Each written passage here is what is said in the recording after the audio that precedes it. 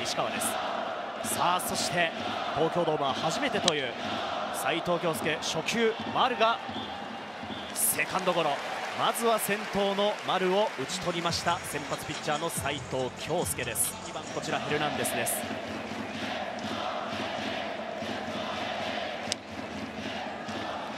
104おここはフォークですね。フォークも通してきました。球種としましてはまあ150キロのストレートそれに加えてスライダーフォークカーブといった境地があると。さあここはそうですね。抑えている斉藤ではないでしょうか。まあ、あの勢いがあるというね、そういう情報は言ってると思うし、えーやっぱりそのまっすぐというものにこう焦点を合わせているような感はい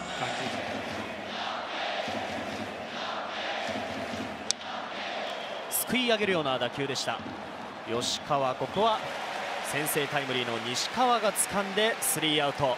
斉藤京介の立ち上がりジャイアンツ打線を0点に抑えています。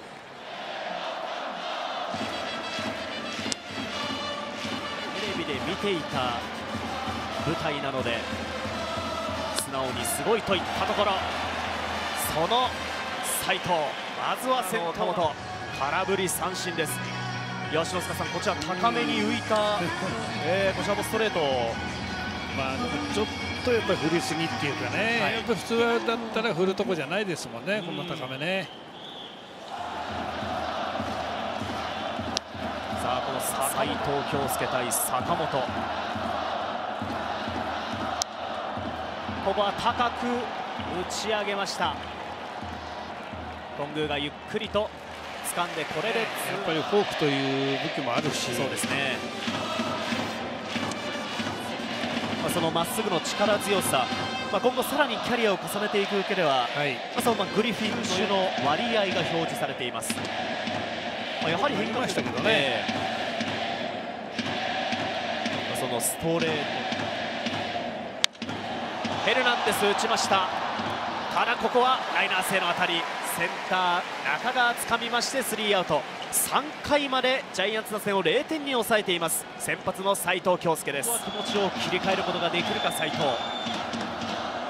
バットはああここはスイング。逃げの姿勢にならず強気にという斉藤。ここは空振りの三振。147キロアウトコースのストレートです。強い。そうですね、まあ、コントロールできましたね。ええこの得点圏を背負っている場面で坂本から空振り三振というのは、一つ大きな自信になるかもしれませんね。まあ、いいとこ行きましたよね。ええ。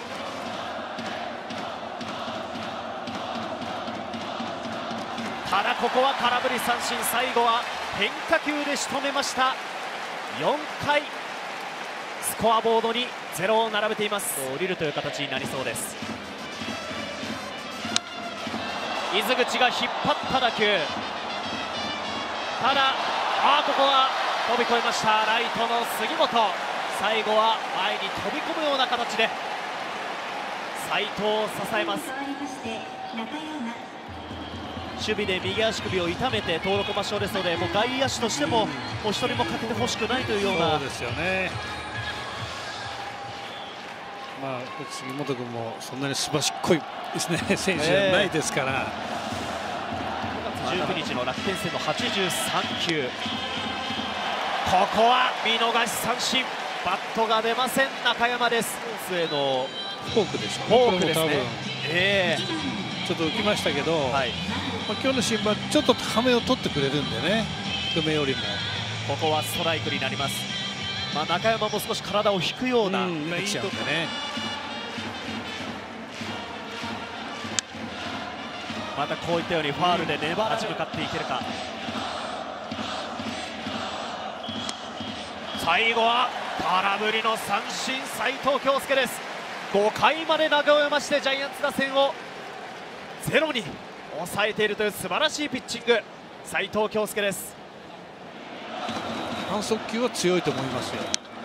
今みたいに動作ところからさあここはショートの紅林が掴んでゲームセット。頭をポンと叩かれました。今日の先発オリックスの斉藤京介。2年目の19歳。プロ初勝利となりました。プロ初勝利。どんな思いでしょう、えー、嬉しい気持ちが一番です